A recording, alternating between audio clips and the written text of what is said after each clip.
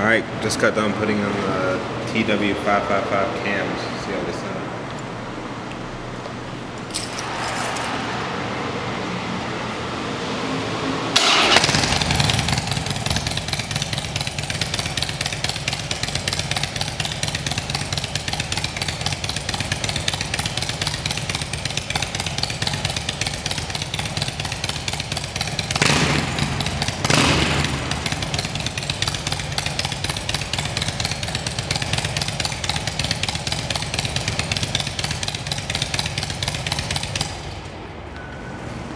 Yeah.